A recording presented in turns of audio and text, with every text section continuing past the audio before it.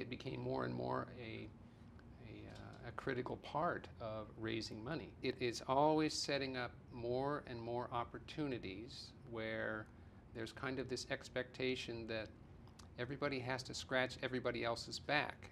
If you help with the money, we'll sort of help do something nice for you. And that kind of mindset, I think, is a slippery slope that can lead to problems. So, as far as offering perks such as access to the White House and senior officials, pretty much almost anything goes. It's legal.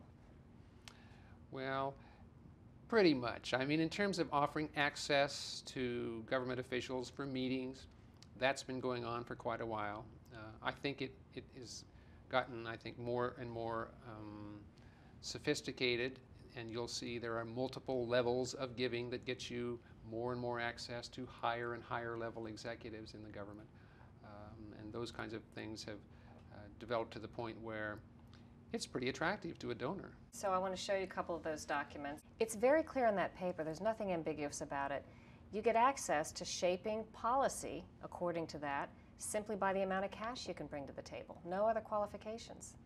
Well, that is the worst side of this process that you're, you're showing us. It's okay to have a big bash and people can have a nice piece of rubber chicken and a nice band, but where you actually start drawing people in uh, who have given the money to the policy discussions, I think there ought to be some way to draw a line there.